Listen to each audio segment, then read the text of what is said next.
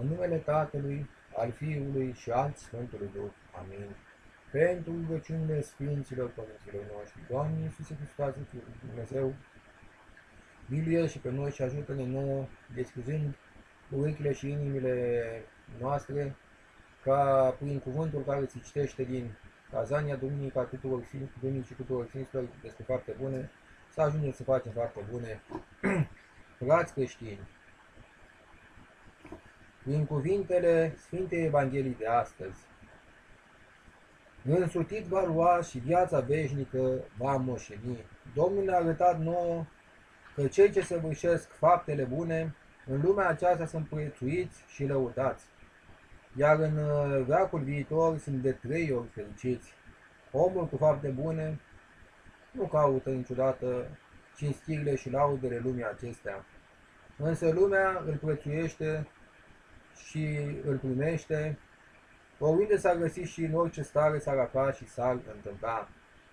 Cinstea și lauda alargă de pe urma lui, alargă pe urma lui, în tot timpul uh, și în tot locul, după cum alargă umbra pe, umbra pe urma noastră când fugim. Mulți socotesc că respectivele oamenilor pentru faptele lor bune sunt numai cerești și că oamenii cei buni se cinstesc și se slăvesc numai în cer și în viața veșnică. Se înșală însă, pentru că Dumnezeu, care este stăpânul celor cerești și al celor pământești, când a zis, însutit va lua și viața veșnică va moșteni, a făgăduit nu numai respectivele pământești, ci și cele cerești. Acest lucru îl arată mai lămurit Evanghelistul Marcu zicând, și răspunzând Iisus lui Petru a zis, adevărat gresc ție, nimeni nu este care să fie lăsat casă, sau frat, sau surori, sau tată, sau mamă, sau femeie, sau copii, sau țarine pentru mine și pentru Evanghelie, și să nu ia însutit în vremea, în vremea aceasta plină de necazuri, casă și surori, și frați, și tată, și mamă, și copii, și țarine, iar în veacul uh, ce va să vină viață veșnică. Noi vedem că s-a împlinit cuvântul Domnului nu numai la sfinții cei de demult, ci și la cei de astăzi. Câtă cinste și slavă au cei care au strălucit în lumea aceasta în fapte bune. Este cunoscut tuturor. Au pomeniri în fiecare an, laude și cântări în fiecare zi, biserici frumoase, praznice și sărbători în cinstea numelui lor. Domni bogați, împărați, mulțimi nenumărate de creștini evlavioși îi cinstesc pe dânsii. Se închină moaștelor lor cu multă cucerincie și cu multă cucerincie cinstesc icoanele lor. Această cinstă au dobândit-o sfinții nu numai după moarte, ci și pe când erau în viață. Atâta evlavie aveau credincioșii la Petru pe când, era, pe când erau în viață. Atâta evlavie aveau credincioșii la Petru că pe ulițe scoteau pe cei uh, bolnavi și îi puneau pe așernuturi și pe patru ca venind um, Petru măcar umbra lui să umbrească pe vreunul din ei, ni se spune în faptele apostolilor. Atâta credință și evlavie aveau către Pavel, că luau cu multă evlavie ștergarile și cingătoarele lui și cu dânsele vindecau bolile neputincioșilor, după cum iarăși ne spun uh, faptele apostolilor zicând, credincioșii puneau peste bolnavi ștergare și cingători purtate de Pavel și se îndepărtau de la ei bolile, iar duhurile cele rele ieșau din trânșii. Când Sfântul Apostol Pavel zice că neavând nimic, deși toate sunt în stăpânirea noastră, el arată că Sfinții au lăsat toate pentru dragostea lui Hristos. Erau săraci, neavând niciun bun, însă erau prea bogați că se puneau averile tuturor credincioșilor. Credincioșii, văzând râpna, dragostea, curățenia vieții lor și faptele lor minunate, aveau către drâns și atâta evlavie și dragoste încât dăruiau, dăruiau lor nu numai averile lor, Uh, ci de ar fi fost cu putință chiar îns, înșiși ochii lor, după cum gărește Sfântul Apostol Pavel zicând, căci vă mărturisesc uh, galatenilor că de ar fi fost cu putință, ochii noștri i-ați fi, i-a, ochii voștri i-ați fi scos și mi-ați fi dat mie. Dar să nu socotiți că numai apostolii lui Hristos au luat acest fel de respectiv de la oameni. Căci și după doi și toți oamenii cei buni din diferite vremi au fost cinstiți și iubiți de drept credincioși și creștini. Aceeași uh, cinste și slavă vedem că se dă până în ziua de astăzi tuturor celor care fac fapte bune. Cel care în vremea de acum își oprește limba sa de la orice minciună și are totdeauna în gura sa adevărul.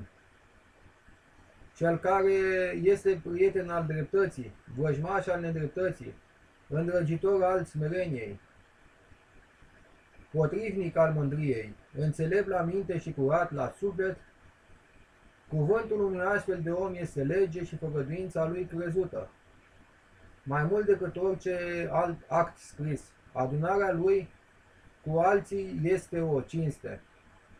Sfătuirea lui este lumină, pilda vieții lui este un dreptar pentru toți. Spuneți-mi, cine nu cinstește pe un astfel de om? Faptele lui bunele laudă și vrăjmașii lui.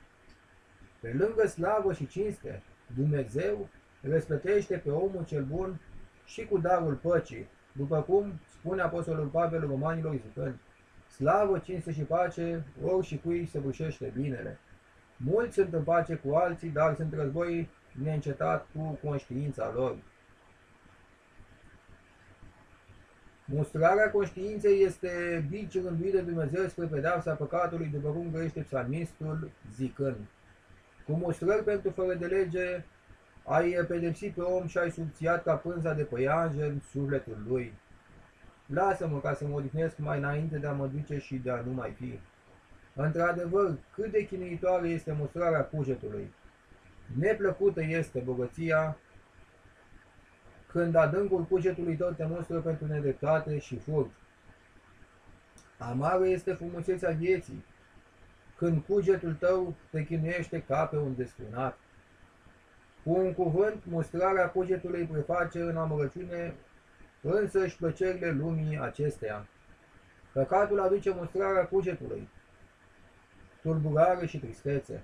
Când în locul păcatului se va săvârși fapta cea bună, atunci cugetul se liniștește și în sufletul omului bun se sălășluiește carul ceresc al păcii. Un om ca acesta a rânduit în păcare cu sine și trăiește în pace cu toți ceilalți oameni, în timpul, în tot timpul și în tot locul, după cum evanghelistul zice, fiți în pace unul cu altul. Are pace cu sine însuși după îndemnul Sfântului Apostol Pavel, care zice, trăiți între voi în bună pace, fiindcă cugetul lui rămâne liber și liniștit de mustrarea păcatului. Pacea este unul din harurile date omului pentru faptele lui bune, fiindcă ea naște o bucurie necontenită și curată.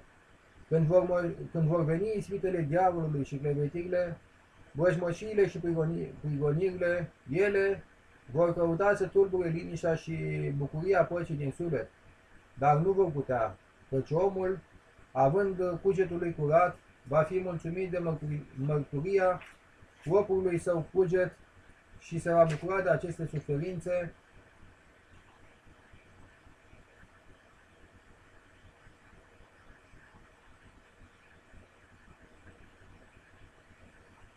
ca unul ce pătimește pentru Hristos.